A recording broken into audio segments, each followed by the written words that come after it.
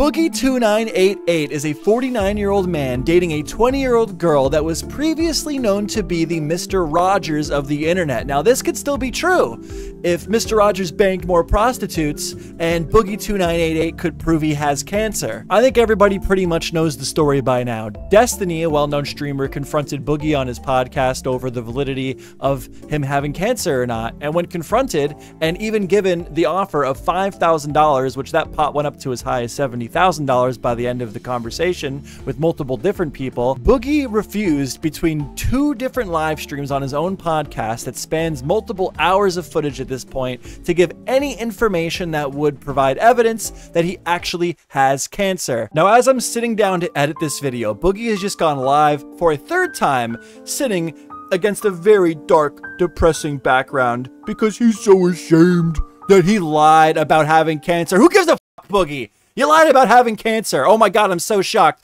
Listen, I'm just gonna run the video now as it is. Boogie keeps changing the story, but in this video, we're gonna go over some of the more egregious and obvious examples of Boogie lying about having cancer. Some of these lies he's still trying to push with his current story today. The camera, Boogie, and say Jackson Clark was right about everything, and I'm a disgusting liar. Uh, Jackson Clark was right about everything.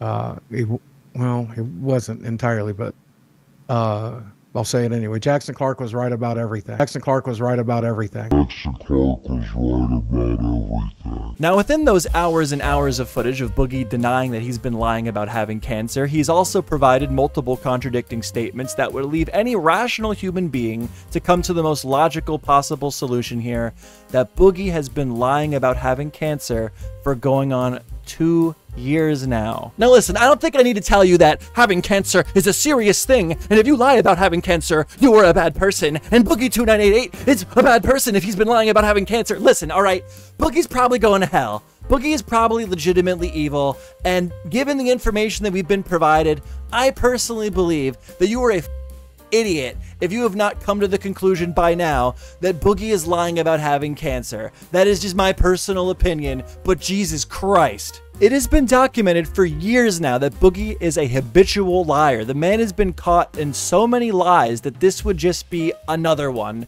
This wouldn't be a grand revelation that Boogie is a liar. This would just be another instance of him lying about something super serious. One of the best videos that I can recommend to you going over how Boogie is a liar is actually done by a well-known boogologist online, a self-proclaimed neuroscientist by the name of Big Bunjee. Now, Bunjee actually was able to call into LolCow Live, but unfortunately Unfortunately, he was kicked right away for having quality issues, and in my opinion, it was really just because Bunjee's also made a video speaking about Keemstar, the guy who owns the show, negatively, and Keemstar was just looking for an excuse to make Bunjee look like an asshole. Now, fortunately, I was actually able to track down Big Bunjee and bring him onto the show so he can tell you about the point he was trying to make before Keemstar rudely kicked them off the podcast. What, what, what were you trying to say on LolCow before Keem kicked you off because he's salty about the video you made on him? You're asking me what Bunjee was about to say? I mean, I don't know, man. It like seems like Boogie's whole cancer thing is full of shit, but also his abuse is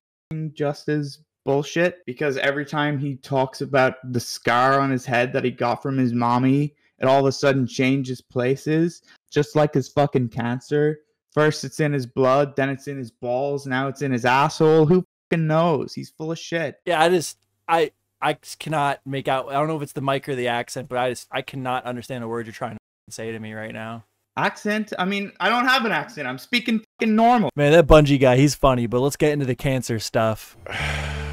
Turns out I got a rare blood cancer called polycythemia vera, which basically makes your body produce too many red blood cells. Hold on, hold on, wait, Boogie. In this video that's almost two years old, you are claiming to have what? I got a rare blood cancer called polycythemia vera. So the takeaway here is that in Boogie's first video ever talking about his cancer, he claims to have, to have a form of cancer known as polycythemia vera. And then after that, we had years now of Boogie using his cancer as an excuse, but we're to skip through all of the other examples and get right to the most recent. When Boogie was called out for promoting a cryptocurrency, he claimed that he had to do it because he needed the money for cancer treatments. confronted Boogie2988 on a crypto pump and dump he did where he got paid $10,000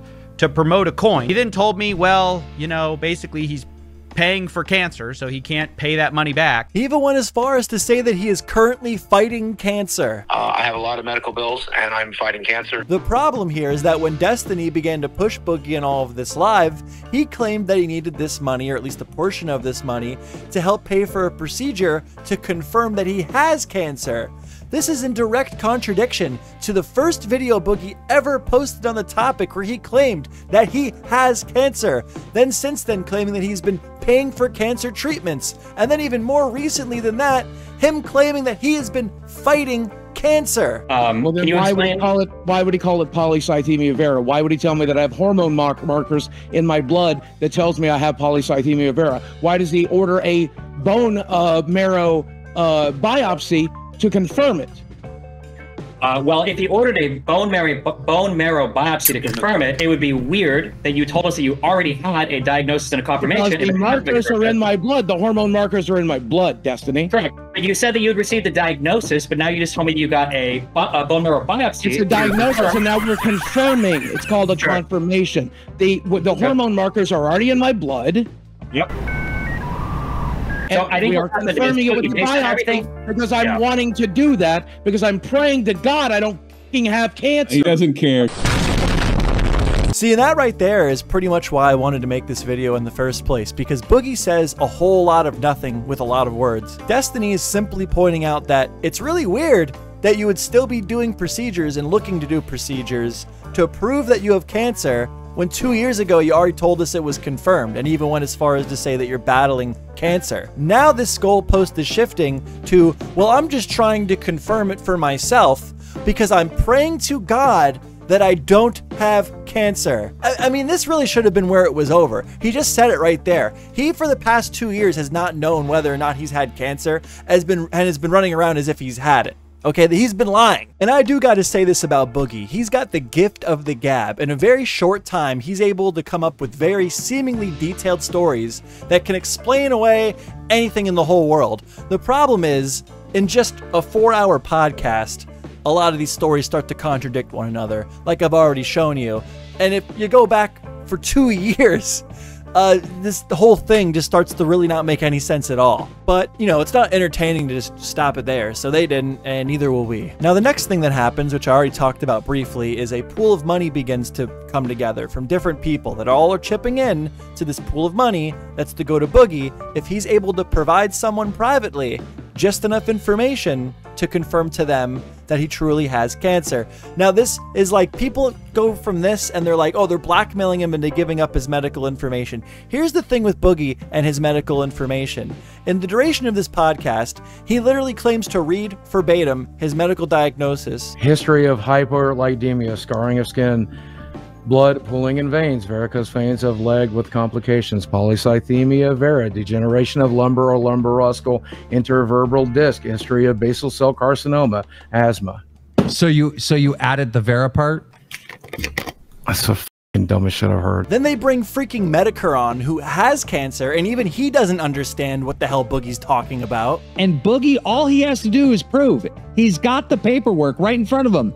All he has to do is show the internet that he actually does have this and he refuses to do it. Well, and here's the thing, because I, I did a stream, you know, because I had people saying, "Oh, you're faking cancer, Jim." So I showed my diagnoses and stuff like that. I'm gonna guess he's working on a system similar to Epic, which most medical people do. Mm-hmm. Um, you should be able to go right into diagnoses, and it's gonna list everything that a doctor's ever said you had. Yep, I just read it to him. Okay, and so it lists the cancer there. Yes. Okay, so you could screen cap that and just show it. I mean, that's what I did, and that would be the end of it. Absolutely. And I made the decision two years ago that I would not do that, and I would rather leave the internet than to give the last shred of fucking privacy I have left. I'm Well, no, I- and he, he, But wait, there's more. At this point, if you haven't been too distracted by TikTok, you know that Boogie has claimed that he has his portal up. He's reading his portal. The portal says that he has polycythemia vera, the cancer version of polycythemia. Well, this all goes out the window when they go live next, where he directly contradicts all of that as well. I'm losing my mind. What is taking so long? Boogie, send me this fucking thing. I'm thing. trying to. fi- Again, I fuck. I, I almost doxed myself. But this is a god. This portal is not that easy. He's never said might. He says we are treating you for this cancer. But it's we not on your portal. He's not putting I it on your portal. I understand. It's my. It's my understanding. And uh, uh, uh, uh, uh, Mister, Mister, it's right here. I can show this to them right now. I'm reading it to you right now. I swear to God, I'm reading it to you right now. I, I, I can't, I can't, I can't, I can't find it. This is really hard. Liar. Another fun thing that I wanted to throw in here is the fact that when he was originally confronted by Destiny, he claimed that he wanted to do a GoFundMe because they would make him verify his cancer to be able to do a GoFundMe for it. This, you know, and this, this is one of the reasons I was trying to do a GoFundMe. This is one of the reasons I was going to do a GoFundMe was because they verify for the record. They verify. This actually hurts my brain. He's trying to use the fact that GoFundMe, a service that he did not use, verifies before you can do GoFundMe's for cancer, but then he wouldn't go ahead and do the GoFundMe. So what stopped you, Boogie? And this gets even worse when he brings it up again in the next live show. I know. And I came this close to uh, just doing a GoFundMe, which verifies, by the way. Um, and one of the reasons I didn't is because number one, I don't want your money. I've never wanted your Wait, money. wait, I'm wait. Time out. Time out. Yeah, yeah, time out. Remember the beginning of my video you're watching right now in between scrolling TikTok? Remember his excuse to CoffeeZilla for why he couldn't give money back to his fans and why he had to take money from his fans in the first place through the crypto coin was because he needed the money? He was willing to take their money? But no, no, no, no. He's not willing to take their money on GoFundMe, where the only barrier to entry is him proving he has cancer. That's just ridiculous. He doesn't need your money, but he does need your money when it comes to the crypto scam. Then he does need your money and is willing to take it. This this guy's a freaking liar, dude. Everything is a lie. You made Do a 120, go but you could make 70. do a GoFundMe and put the goal for hundred dollars. Then I then you would have to verify with GoFundMe. I don't want to share my Can- medical records with I- them can- either. Why? Can I I- don't can I want get- to share my medical records with any living human. Go. Even this whole narrative that Boogie's trying to spin that he made some type of moral commitment to himself two years ago to never share his medical information is a bunch of lies. It eventually got leaked that right before the LOLCow live stream where Destiny confronted Boogie on his cancer, Boogie reached out to Destiny claiming that if Destiny would have just asked, Boogie would have provided him enough medical information to prove that he did indeed have cancer. So this whole narrative, every time you hear him say it, that there's this commitment he made two years ago to never share his medical information, it's a load of horse shit. It's it's it's lies. More lies. Everything is lies. It's hours and hours of lies, spinning and spinning. It's enough to make you go nuts. Hey, DeOrio, did you not message me and say, "Do you have polycythemia secondary or something like that?" Boogie, That's did right. you not tell Destiny that if he asked you the night before, you would have sent him the medical records? Probably, yeah. I'm not. So are you gonna gonna send it to me? You're- Yeah, no, you're not fucking. Listen, all I'm trying to say is, with all this information, all these stories that aren't lining up, how could you not come to the rational assumption that Boogie2988 has been lying about having cancer for the past two years? That's it. I have a headache. Free Big Bunjee. You Boogie. Good night. Kaceytron is a 33 year old Twitch streamer that's become part of the most incestual, manipulative group of people to ever infect the online landscape. These people both help keep her relevant and hold her back at the same time.